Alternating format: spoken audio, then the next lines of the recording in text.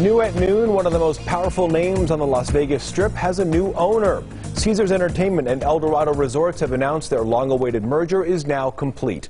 Total cost of the deal, $17 billion. It creates the largest casino and entertainment company here in the U.S. Caesars already owns nine properties in Las Vegas, as you probably know. It also owns other resorts around the world. Eldorado Resorts is based up in Reno, but it does own properties in Laughlin and at State Line.